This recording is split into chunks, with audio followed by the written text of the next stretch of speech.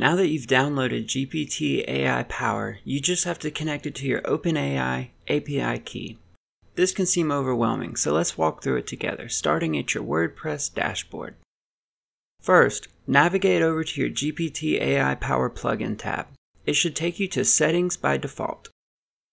Now, under the AI engine and settings, you'll see an empty space at the bottom titled API key.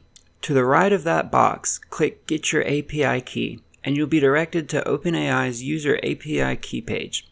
Here, simply click Create New Secret Key and copy it to your clipboard. Now let's navigate back to WordPress. Finally, paste your secret API key into the text box and click Save. If this was successful, you'll see a notification at the top.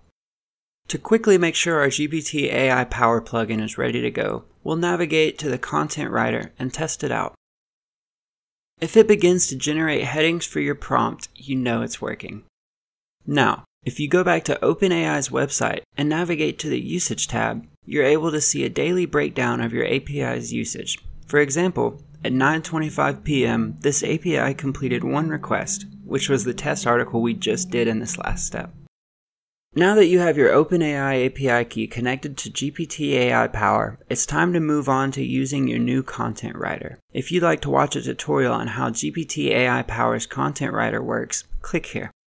Thanks for watching and feel free to comment any questions you may have below.